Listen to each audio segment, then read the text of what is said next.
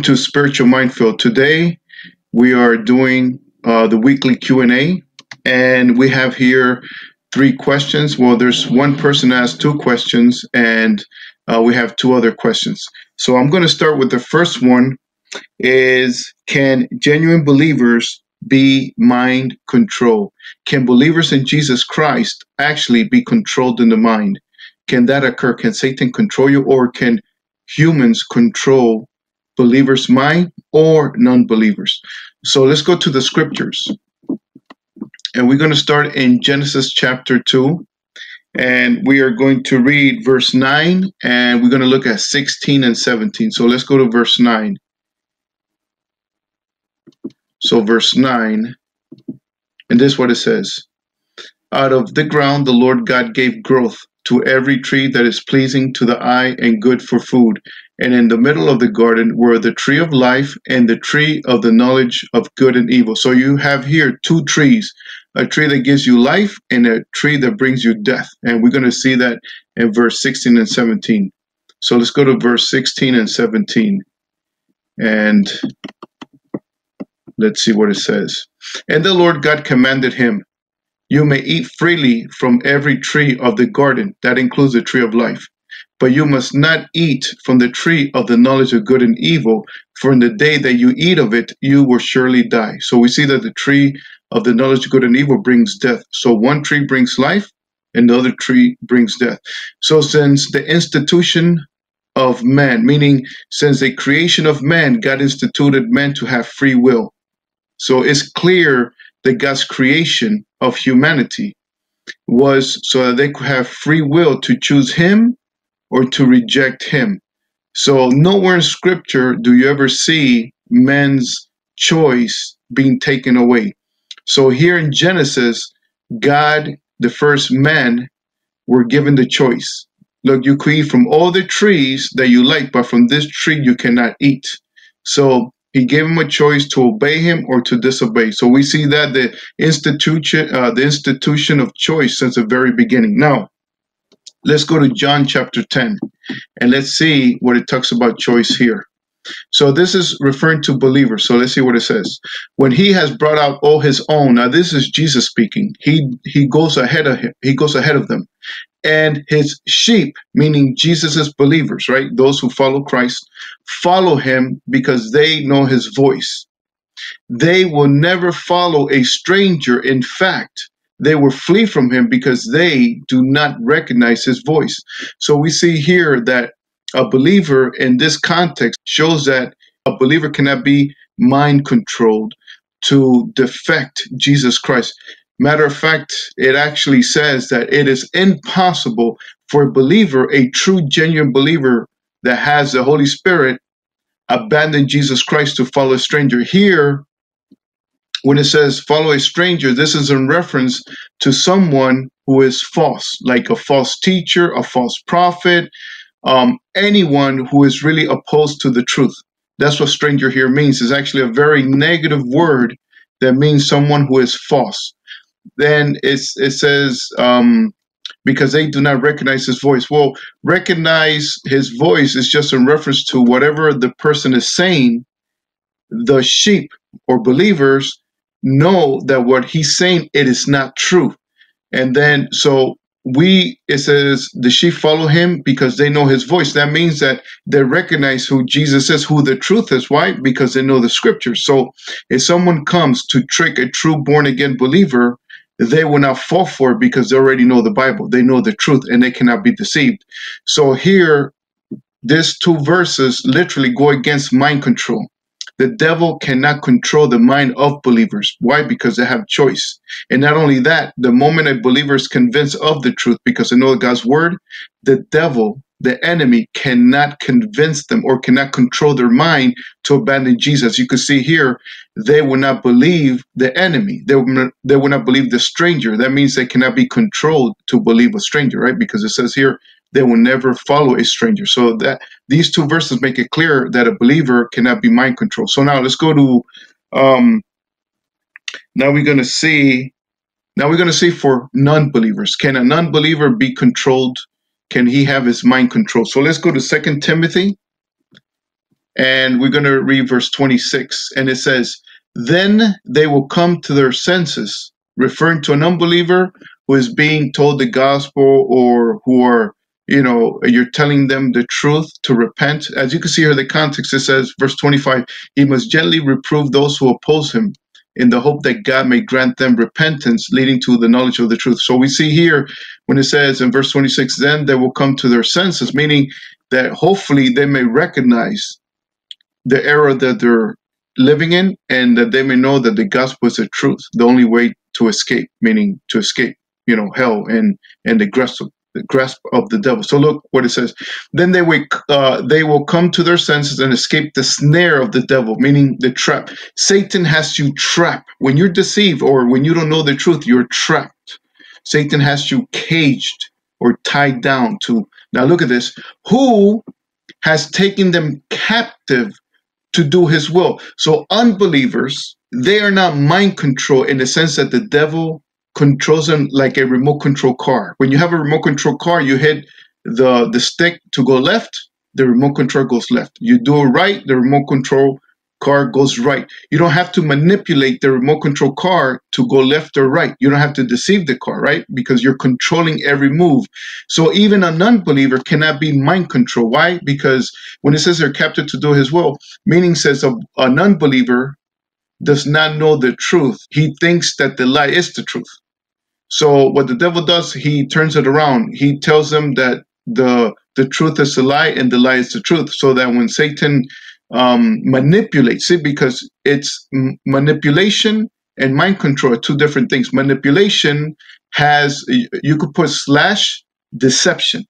Well, mind control, there is no deception. Why? Because you're being controlled. It's not your choice you're being controlled to do whatever the other person wants and you have no choice in the matter. So that's unbiblical. Even unbelievers who do not have the holy spirit and are captive to do his will does not say that they're controlled their minds are controlled by the devil to do his will. It just means that since they don't know the truth they're snared meaning they're trapped. How? Through deception. That's why they do his will. And i'm going to show you this very quickly. I don't have it here in my notes but we're going to go very quickly to Second Thessalonians, and I'm going to show you this. I'm going to show you very quickly, and we're going to start here, right here. I'm going to start in verse 9. So 9 to, to 12. It says, um, hold on one second. Okay. The coming of the lawless one, referring to the Antichrist, uh, will be accompanied by the working of Satan with every kind of power, sign, and false wonder. You see that? He does that to deceive you, not because if he had mind control over you, he doesn't need to deceive you. He just controls you automatically. Well, that's not the case. He has to deceive you. And verse 10 and with every wicked deception directed against those who are perishing because they refused the love of the truth that would have saved them. For this reason, God will send them a powerful delusion, meaning God would allow for the devil to bring a strong, powerful deception so that they believe the lie. You see that? So for them to do Satan's will and to accomplish the devil's purposes, they have to first be deceived. They're not mind control, they're deceived. There's two different things. Verse 12, in order that judgment may come upon all who have disbelieved the truth and delighted in wickedness, meaning they chose what the devil offered and rejected the truth because they do not believe uh, they re- they don't they do not love the truth, so they rejected the truth.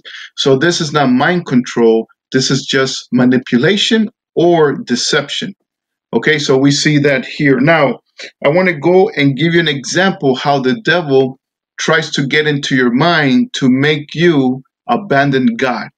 What does he do for you to abandon God? Meaning he cannot control your mind so that you can abandon God, but He has to work very hard to make you or to put you in such a situation so that you could abandon God. So basically, the devil tries to manipulate your mind through external factors.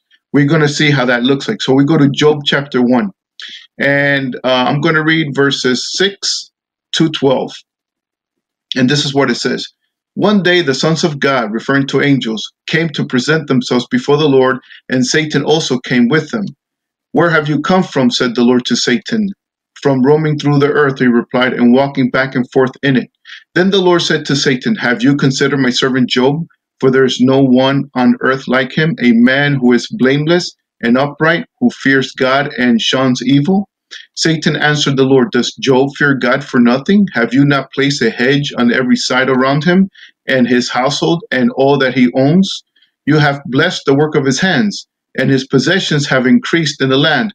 But stretch out your hand and strike all that he has, and he will surely curse you to your face.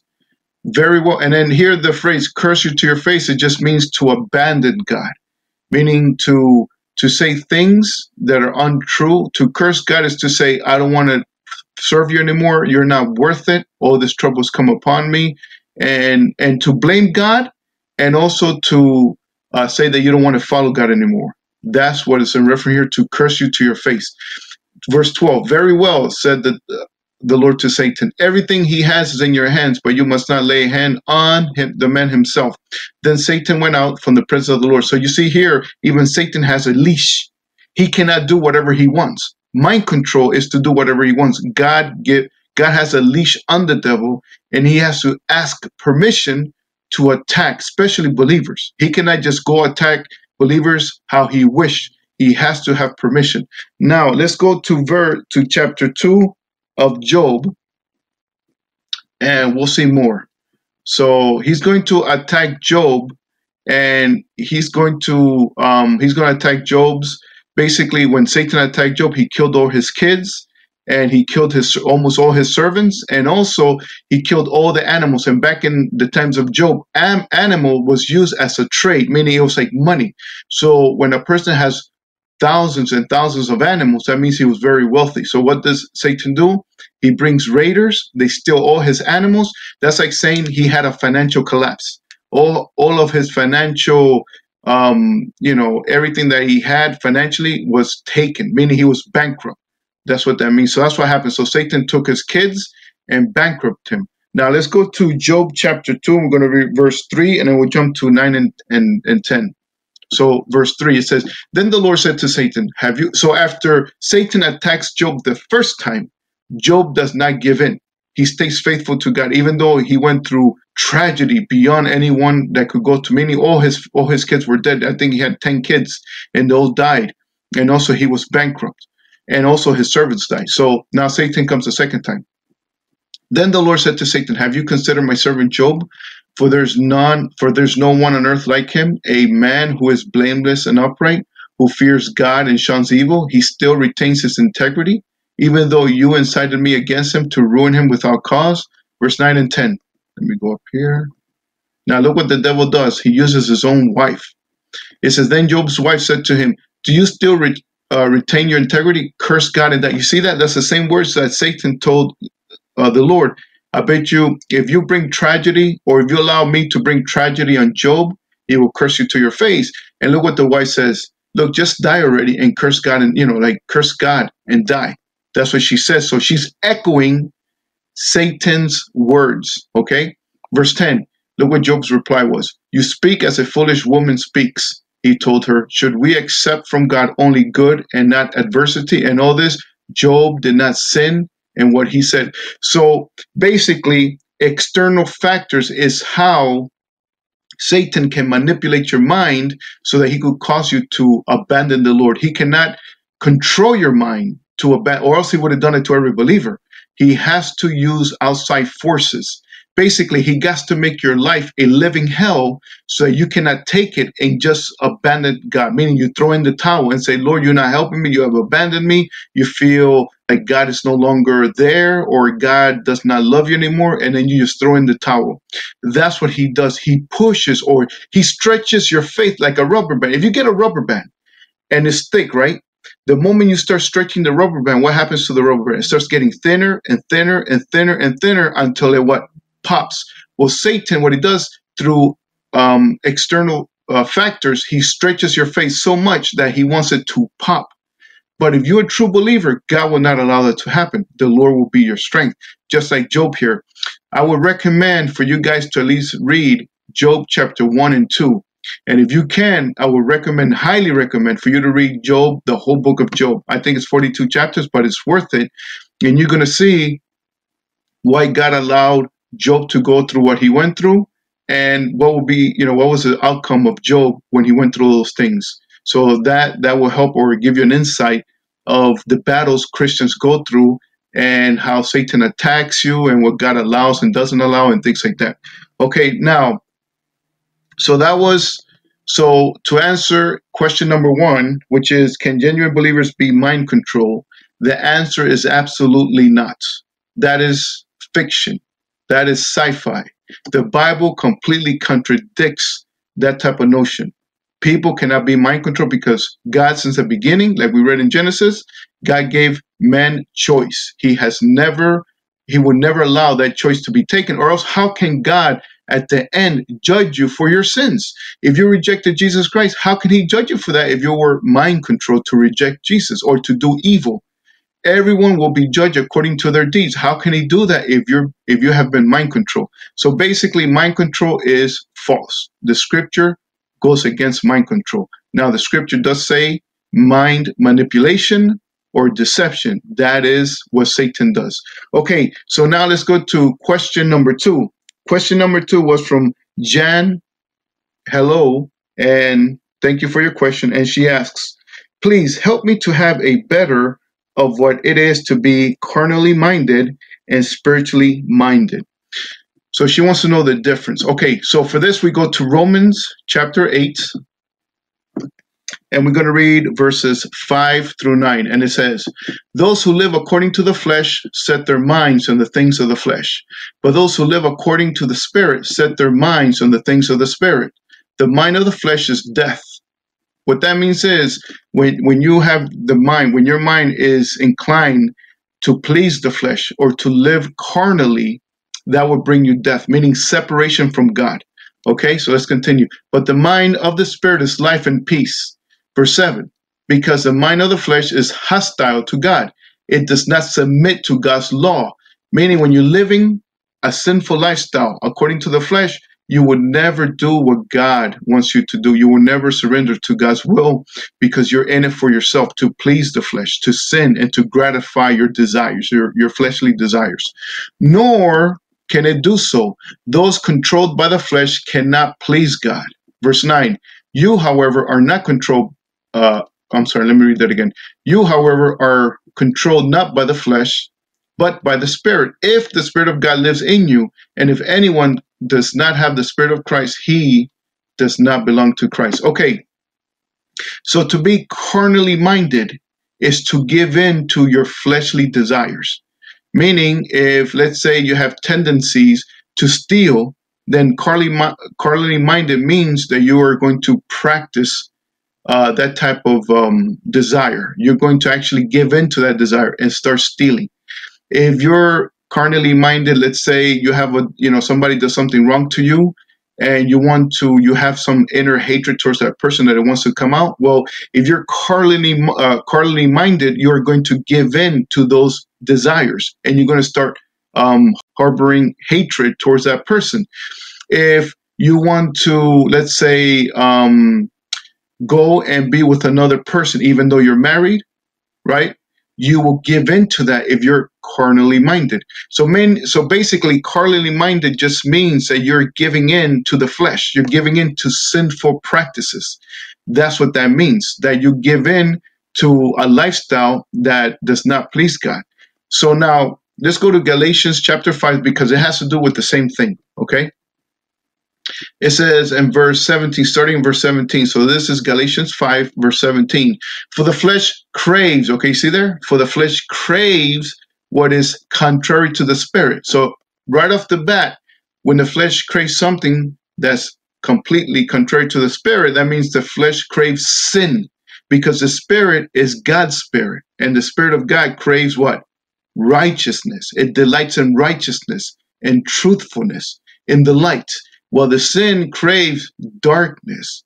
It craves um, sinful acts and things like that. So um, the flesh craves contrary that which is contrary to the spirit. And then let's continue. And the spirit, what is contrary to the flesh, they are opposed to each other, so that you do not do what you want. But if you are led by the spirit, you are not under the law. Verse 19, the acts of the flesh are obvious. So then, when they're going to give you some synonyms or some sinful acts that the flesh does, meaning if you're carnally minded, this is the type of lifestyle you're going to live. Okay, so verse 19, the acts of the flesh are obvious sexual immorality. And sexual, that phrase sexual immorality means everything under the sun that has to do with sexual acts. It could be homosexual, it could be, you know, committing adultery, fornication, anything like that. That's what it means. Impurity and debauchery, idolatry and sorcery, meaning any type of occultic practices, any type, all types of occultic practices. Hatred, discord, jealousy, and rage, rivalries of divisions, factions, and envy, drunkenness, orgies, and the like I warn you, as I did before, that those who practice such things will not inherit the kingdom of God. So if you practice, if, the, if you're given over to our, you know, a carnally minded person, and you're constantly doing it, that means that most likely you don't have the Holy Spirit.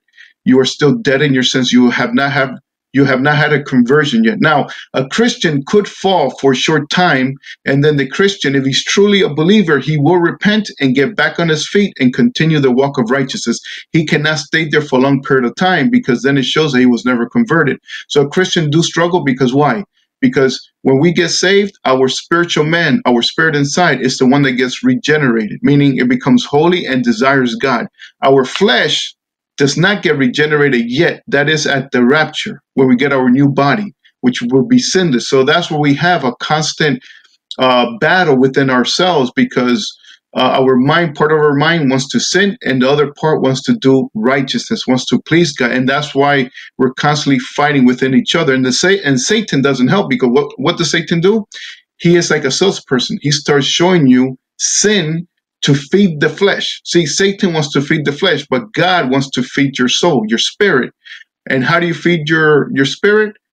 Uh, Matthew chapter 4, verse 4. Man does not live on bread alone, but on every word that comes from the mouth of God. So if you feed your soul the word of God daily, then you will strengthen your soul, your spirit, to be stronger than the flesh. So when when you're being tempted to sin, you'll be stronger to control those desires and to put it to death, or meaning to put it down and hold it and not give in to that. When your mind be- starts to become carnally, meaning it wants to do things that does not please God, your spirit mind, let's say, um, controls that that type of impulse. Why? because it is stronger through the word of God. And then it puts it, you know, it, it, it stops it, meaning puts it in a chokehold. It will not allow it to spring forth. Basically, you will not give in to the temptation that you're being offered at that time. Now, I'm going to show you this. I'm going to show you that a true Christian, it's impossible for a true Christian to live a lifestyle of sin. For that, we go to First John chapter 3, and we're going to look at verse 6 and 9. So, verse 6, it says here, no one who remains in him, referring in Christ, keeps on sinning. No one who continues to sin has seen him or known him. Well, it says here remains, uh, keeps on sinning, meaning a lifestyle, a prolonged life of debauchery, of all that that thing I read in, in Galatians chapter 5, meaning you're living your lifestyle.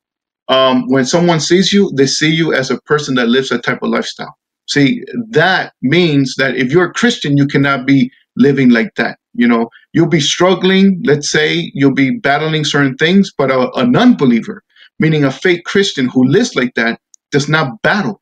Why? Because he's already given over to that type of lifestyle. See, and this verse here, verse 6 says, um, No one who remains in him keeps on sinning. No one who continues to sin has seen him or known him. Meaning, if you live a sinful lifestyle, that means that you have not been born again. Now, look at verse 9. It shows you, verse 9 shows you how is it that you cannot live a sinful lifestyle. So look what it says. Verse 9 says, Anyone born of God, meaning born again, you have the Holy Spirit living inside of you, refuses to practice sin. Okay? Because God's seed abides in him. He cannot go on sinning because he has been born of God. So the moment you receive the Holy Spirit, it keeps you from a lifestyle of sin. Impossible. Why? Because the Holy Spirit will convict you and will really uh, the sword meaning god's word will penetrate your heart and will show you that you know you are living wrong. You need to repent and get right. And then you're going to realize that. Why? Because you are an adopted son of god. You are a child of god. And you're going to see that and you're going to repent because god's spirit lives inside of you and your spirit has been born again, meaning it desires righteousness. So when it sees that, the Holy Spirit will give your spirit the power to repent and to stop doing that type of sin and ask God for help like that. Okay, now we're going to look at question number three. This is from Bonnie Barbie. Thank you for your question. Asks, Will we have jobs to do in heaven? So she has two questions.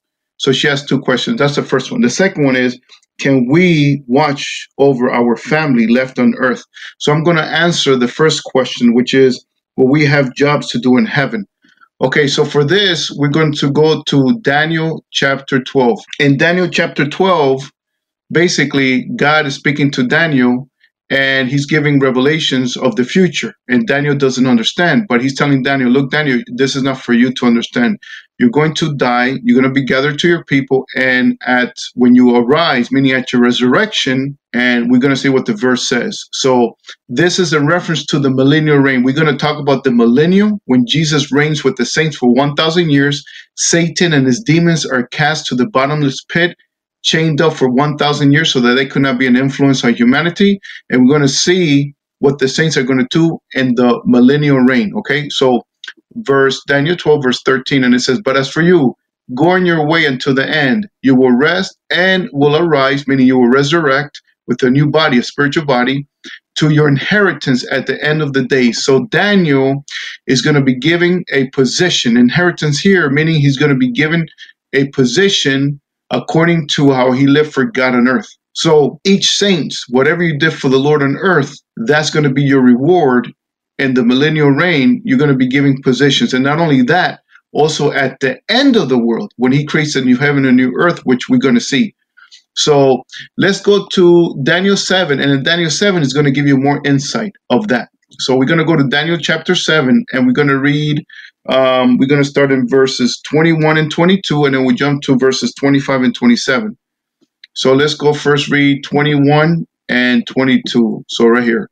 So 21 and 22. It says, As I watched, this horn was waging war against the saints. Okay, this horn is in reference to the Antichrist.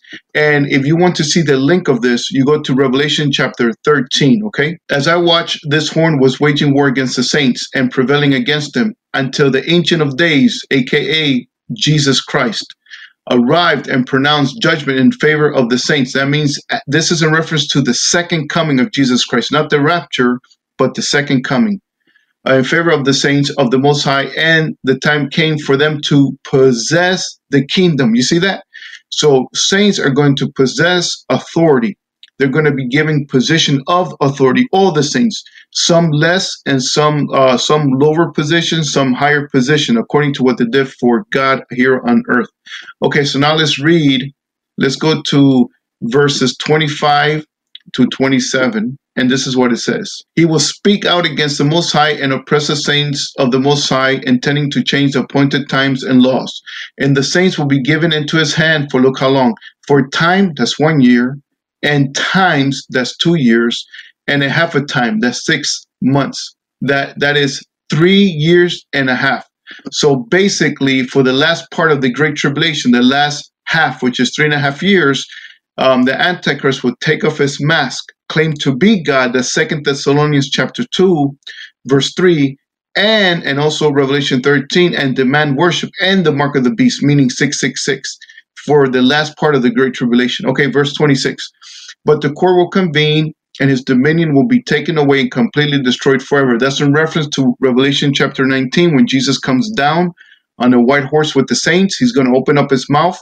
A sword comes out of his mouth, which is a symbol of a spoken word the sword is always in the New Testament is in reference to the word of God. So Jesus speaks a word, all everybody that it's it uh, comes with Antichrist, meaning all of his army, they drop dead. And then he gets he sends out an angel, grabs the Antichrist, a false prophet, and throws him alive to the lake of fire, which is the second death. Those are the first two to enter the lake of fire for all eternity. Okay, so verse 27. Then, so after that event, okay, then the sovereignty, dominion, and, and greatness of the kingdoms are under all of heaven will be given to the people. Remember, kingdoms meaning plural, under all of heaven, meaning all the kingdoms of the world, will be given to the people, the saints of the Most High. his kingdom, referring to Christ, will be an everlasting kingdom, and he and all rulers will serve and obey him. So all the kingdoms of the world will be given over to the saints, those who were persecuted and those who lived before the great tribulation will be given the kingdoms of the world, meaning that all believers will be ambassadors for Jesus Christ and will be sent all over the world to represent Jesus Christ, who's going to reign as King of Kings and Lord of Lords in Jerusalem. And all the other saints are going to represent Jesus Christ, and we're going to have a brand new body. We're going to have a spiritual body. We're going to be 100% perfection. No more um, strain from the truth. We're going to have pure motives. We're going to have full wisdom, and we're going to be sinless. So the justice we bring in other nations will be according to the word of God, and we would execute the word of God 100% all the time. So then the saints will work, will have a job in the millennial reign. So, how about when Jesus, after the thousand years, and he creates a new heaven and a new earth, how about then? Will we have jobs in the new heavens? Well, for that, we go to the book of Revelation. So, we go to Revelation chapter 21 and revelation 21 and 22 is in reference to the end meaning with this world no longer in, you know exists and then jesus creates a new world for not only for us but for the father for the son they're going to live with us and angels are going to live with us everyone angels and people will live all together and the new jerusalem is made of, of gold and precious jewelry will come down and he's going to be our light. There's no more sun or moon. It's always going to be daytime because the glory of the Lord will shine like the sun it's going to permeate all area of the new planet. Angels will be there, we will be there. And then let's see we have jobs there. Okay? So so Revelation 21 we're going to start in verse 22. But I saw no temple in the city. That's referring to the new city, Jerusalem. Because the Lord God Almighty and the Lamb, referring to the Father and the Son, are its temple. Verse 23, and the city has no need of sun or moon to shine on it, like, like I explained earlier, because the glory of God illuminates the city, and the Lamb is its lamp. By its light, the nations will walk. So the nations mean that every believer is going to still represent their nationality or they're going to be different. Everybody's not going to be the same. You're going to look like you did here, but with a with a perfect body, with a spiritual body. You're going to look radiant. You're going to look glorious, but yet there's still going to be differences from everybody. Okay.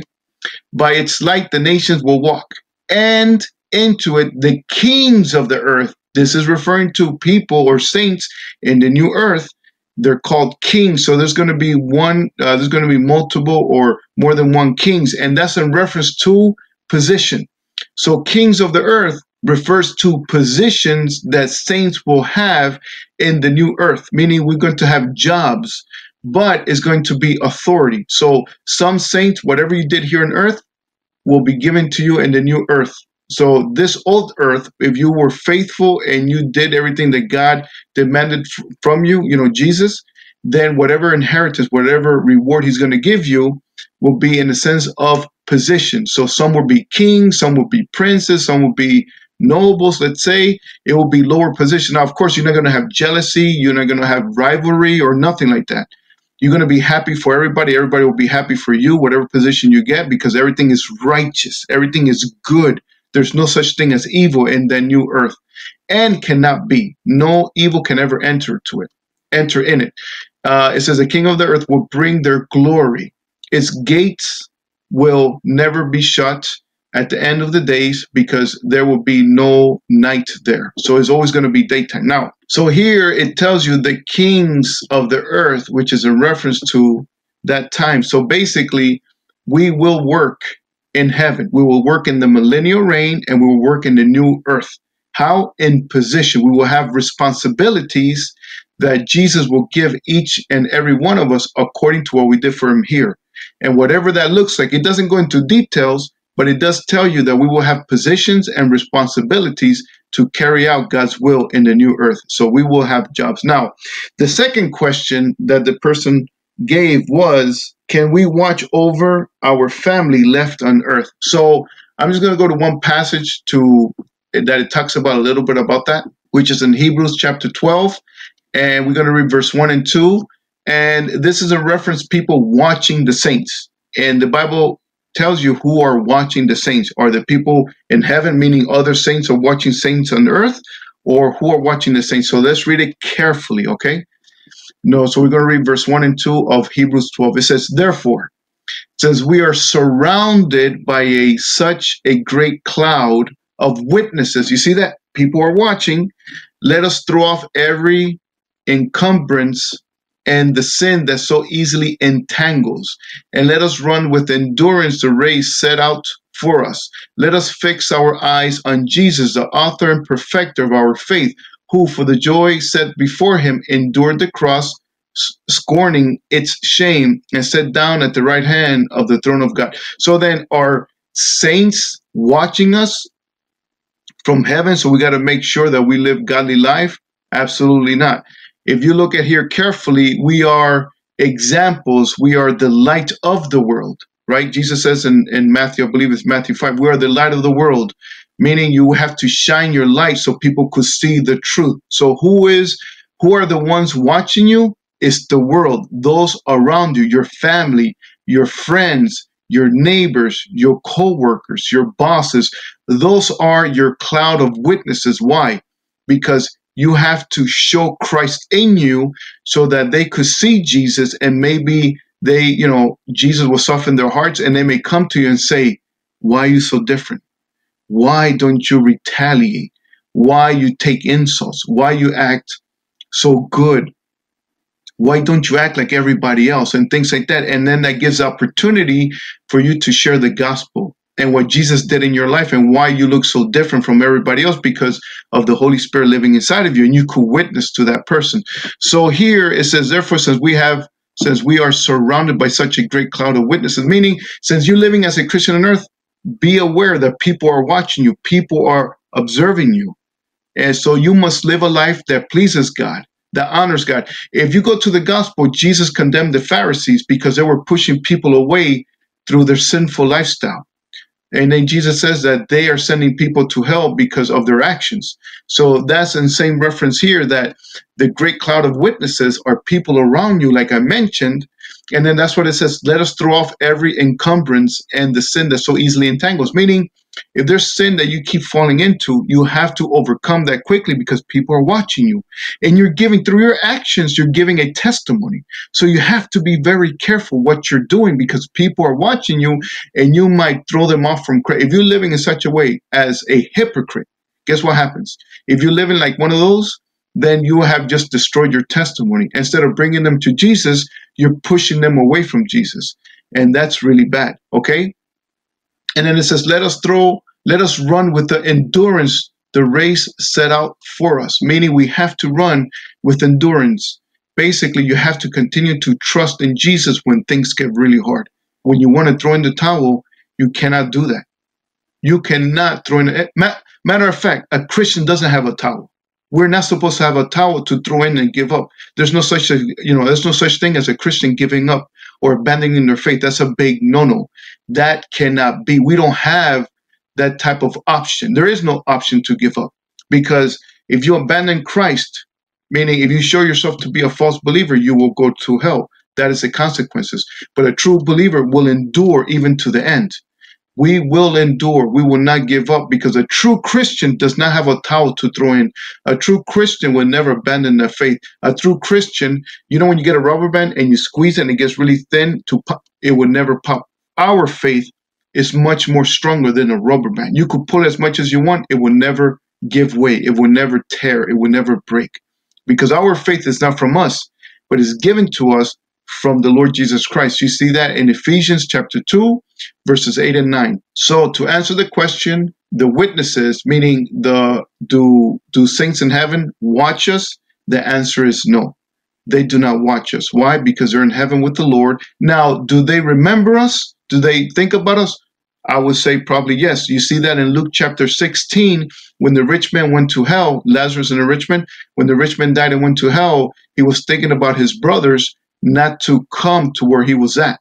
And he wanted Abraham to somehow uh, speak to God on, on, on Lazarus' behalf to be resurrected to go to his brothers. so he could preach to them so they won't end up in hell like like the rich man. So the rich man is in eternity, right? Because hell is in is being in an eternal state.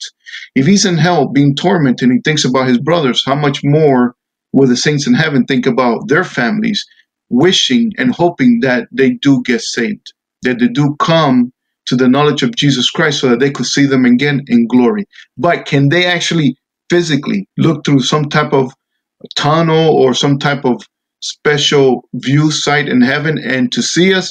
The Bible doesn't support that anywhere. I have not seen such a verse, so I cannot conclude that that happens because the Bible it, it doesn't say it.